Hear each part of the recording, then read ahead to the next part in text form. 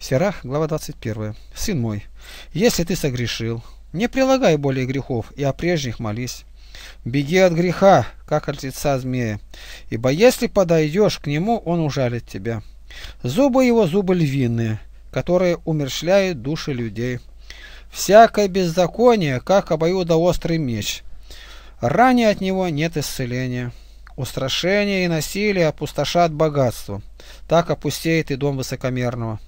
Моление из уст нищего только до ушей его, но суд над ним поспешно приближается. Ненавидящее обличение идет по следам грешника, а боящийся Господа обратится сердцем.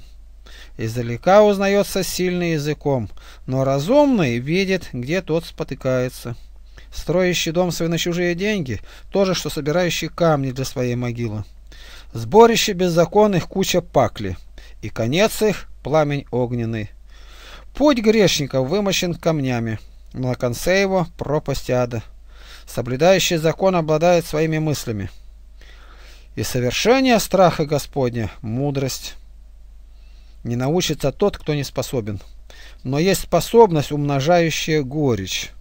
Знание мудрого увеличивается подобно наводнению – и совет его, как источник жизни. Сердце глупого подобно разбитому сосуду и не удержит в себе никакого знания. Если мудрое слово услышит разумный, то он похвалит его и приложит к себе. Услышал его легкомысленный, и оно не понравилось ему, и он бросил его за себя. Речь глупого, как бремя в пути. В устах же разумного находит приятность. Речей разумного будут искать в собрании, и о словах его будут размышлять в сердце. Как разрушенный дом, так мудрость глупому, и знание неразумного – бессмысленные слова.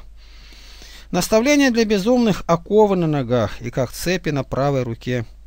Глупый в смехе возвышает голос свой, а муж благоразумный едва тихо улыбнется. Как золотой наряд – Наставление для разумного и как драгоценное украшение на правой руке. Нога глупого спешит в чужой дом, но человек многоопытный постыдится людей. Неразумный сквозь дверь заглядывает в дом, а человек благовоспитанный остановится вне. Невежество человека подслушивать у дверей. Благоразумный же огорчится таким бесстыдством. Уста много речивых рассказывают чужое, а слова благоразумных взвешиваются на весах.